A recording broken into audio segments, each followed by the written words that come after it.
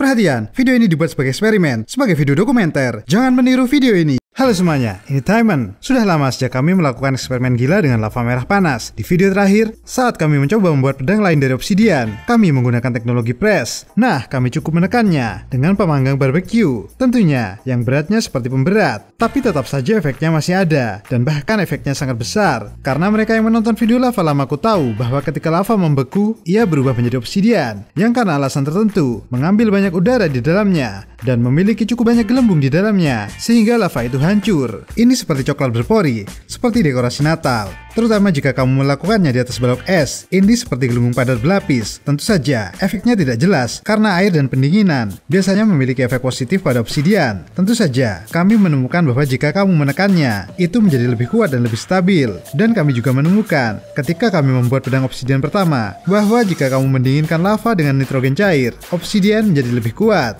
Nah, jangan langsung memasukkan lava ke dalam nitrogen cair, karena efeknya terlihat menarik, terutama saat plat timah berisi minus 196 derajat nitrogen cair di dalamnya menyala. Meskipun banyak orang mungkin akan mengatakan, nitrogen cair memiliki perpindahan panas yang sangat buruk. Itulah sebabnya, nitrogen tidak terlalu mendinginkannya. Hasilnya mengejutkanku untuk beberapa alasan. Obsidian langsung berubah menjadi debu dan abu setelah nitrogen cair.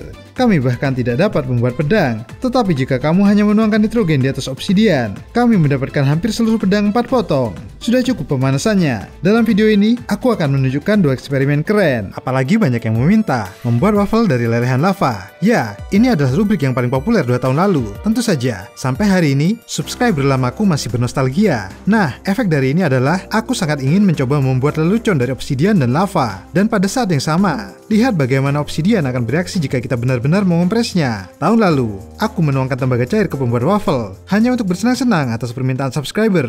Ya, seperti dulu ada lava palsu dan sebagainya. Jadi, bahkan dari tembaga yang hanya 1100 derajat, besi wafelnya menjadi bengkok sehingga menjadi gelombang. Kamu tahu, bagaimanapun, pembuat waffle modern tidak cocok untuk ini. Aku membutuhkan cetakan waffle milik kakek kami yang dibuat sejak zaman Uni Soviet. Lihat, bahkan ada nomor di rubel Soviet. Aku benar-benar menggalinya dari ruang penyimpanan nenekku.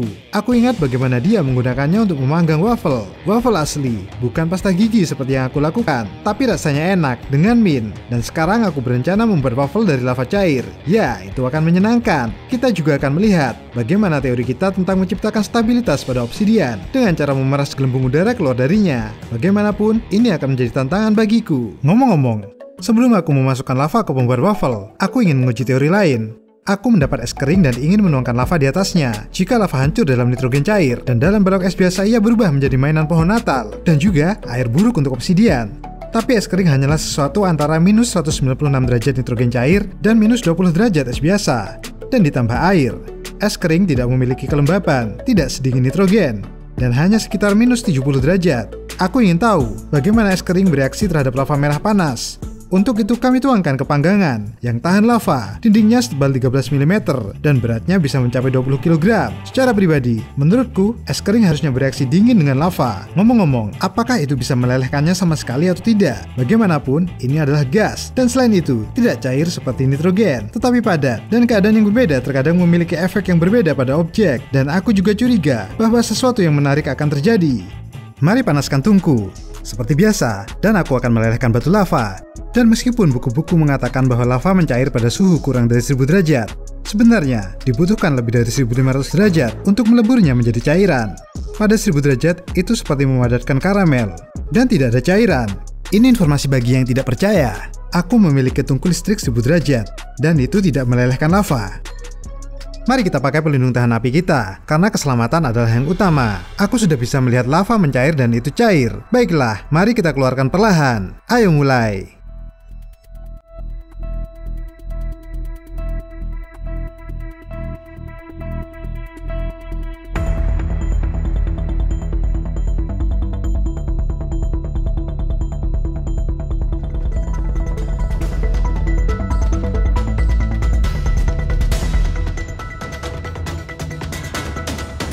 Sial, bergelembung.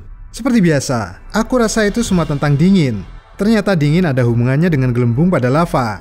Tapi uniknya, dry ash juga berperilaku aneh. Tidak berdecit seperti biasanya, tidak berasap, dan bahkan tidak meleleh. Ini sangat aneh.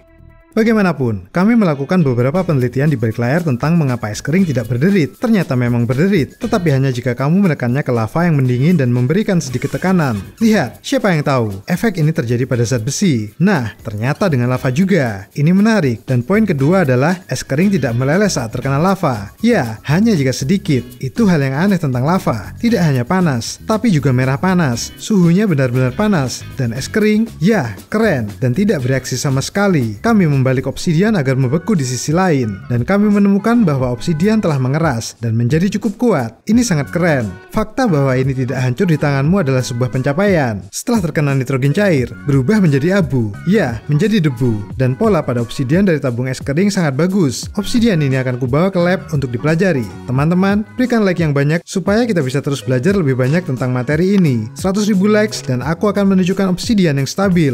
Ngomong-ngomong, Post di komentar, mungkin kita harus mengeluarkan pedang obsidian dalam bentuk es kering, dan bagikan video ini ke temanmu. Beritahu mereka juga. Nah, kita lanjutkan ke percobaan kedua. Jika kamu menekan lava dan mengeluarkan udaranya, kamu harusnya juga mendapatkan obsidian yang stabil. Aku memutuskan untuk membuat lelucon kecil dan membuat waffle lava untuk tahun baru. Dan pada saat yang sama, melihat efek press pada obsidian. Ngomong-ngomong, pembuat waffle kuno ini terbuat dari aluminium, dan kita semua tahu bahwa titik leleh aluminium adalah 660 derajat apakah besi waffle akan meleleh atau tidak. Lava akan menjadi 1500 derajat pada saat mengalir. Ingin tahu hasilnya? Bagaimana menurutmu? Mari kita lihat siapa yang benar. Jangan mengintip dan tulis hashtag lava menang di komentar jika menurutmu lava akan melelehkannya. Atau tulis hashtag pembuat waffle kuat jika menurutmu benda ini tidak bisa dihancurkan karena kakek kita yang membuatnya.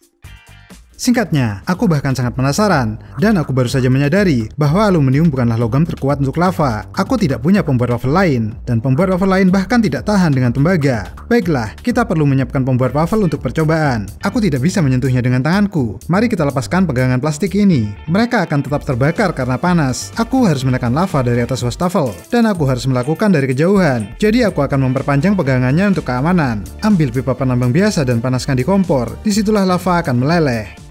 Wah, ini keren. Pipanya mulai membuat kembang api. Mungkin lava yang mempengaruhinya. Aku tidak tahu, tapi keren. Mari membuat pegangan baru untuk membuat waffle. Sial, pipanya terlalu tebal. Baiklah, mari kita panaskan lagi. Oh, sekarang bahkan berubah menjadi pegangan yang reaktif. Ya, dengan pegangan ini, kamu dapat dengan cepat menekan besi waffle. Sangat cepat. Baiklah, pegangannya hampir siap. Tantangannya adalah menjaganya agar tidak bersentuhan dengan lava. Aku akan menekannya dari kejauhan, dan aku juga akan mengenakan sarung tangan api khusus. Baiklah semuanya, ayo mulai. Mari kita lihat, kali ini di balik layar, kami hampir mencairkan lava kami lagi. Dan itu adalah pemandangan yang indah, memesona setiap saat. Apa pendapatmu tentang tetesan lava ini? Indah bukan? Nah, kami sudah siap. Ayo kita membuat waffle. Ayo mulai.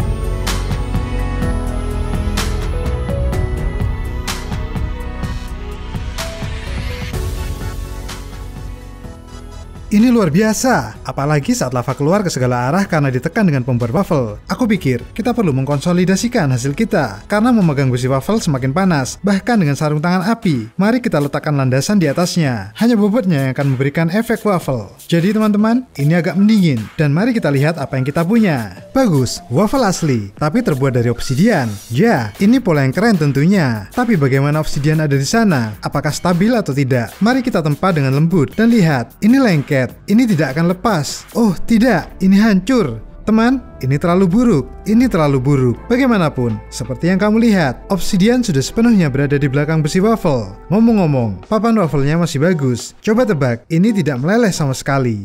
Aku tidak tahu ini terbuat dari apa lagi, tetapi itu adalah rahasia selama berabad-abad dan tidak ada lava yang dapat merusaknya. Jadi pemenangnya adalah mereka yang menulis hashtag pembuat waffle kuat. Baiklah, aku akan terus bereksperimen dengan lava hanya jika video ini mendapat 100.000 likes. Subscribe channel ini teman-teman, nyalakan lonceng agar tidak ketinggalan. Selamat tinggal.